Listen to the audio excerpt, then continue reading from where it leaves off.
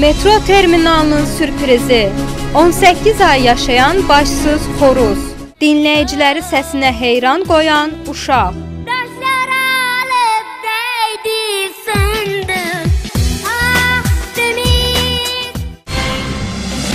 Salam dünyanı tanımaq istəyənlər. Sağlam nəsil sağlam gələcək deməkdir. Sağlamlığımızı qorumaq üçün isə düzgün qidalanmaq və idmanla müntəzəm məşğul olmaq lazımdır. Axı uğurlu gələcək bizimlə gələcək.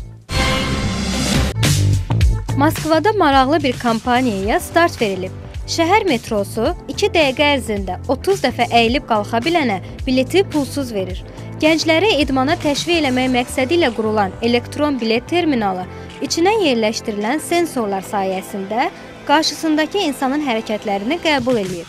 Normativi yerinə yetirə bilənlər bir gedişli metro bileti qazanırlar. Dünya haqqında maraqlı məlumatlar toplayarkən mən yenidən sehrli kitaba, yəni Guinness Rekordlar kitabına göz gəzdirdim. Burada kimlər var, kimlər? İxtiraçılar, rəssamlar, alimlər, idmançılar və s. Bu dəfə diqqətimi çəkən isə nə idmançıdır, nə də ixtiraçı. Bizi sübh tezdən banlayıb oyadan dostumuz xoruzdur. Bəli, düz eşitdiniz. Həm də Mike adında.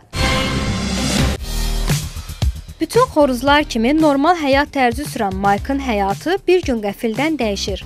Əkinçi Lyot xoruzu kəsmək qərarına gəlir. Əkinçi həmişə elədiyi kimi baltasını götürüb xoruzun başını kəsir. Başı kəsilmiş xoruz sahibinin əlindən çıxaraq ətrafda uçuşmağa başlayır.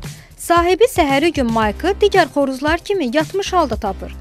Xoruzun bir neçə vaxtdan sonra öləcəyini düşünən Lyot heyvanın qida borusuna göz damızdırıcı ilə qarğıdalı, toyuq yemi tozu və su damızdırmağa başlayır.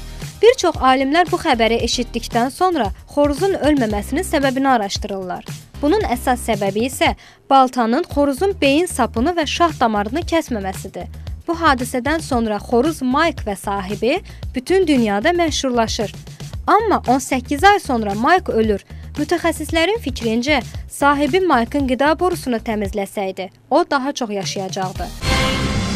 Hər an ağla gəlməz və inanılmaz hadisələrlə rastlaşırıq. Əlbəttə ki, bu da bizim dünya görüşümüzün artmasına kömək eləyir. İnanılmaz və qeyri-adi hadisələrlə tanış olmaq, biliklərinizi daha da artırmaq üçün mütləq dünyanı tanımaq lazımdır.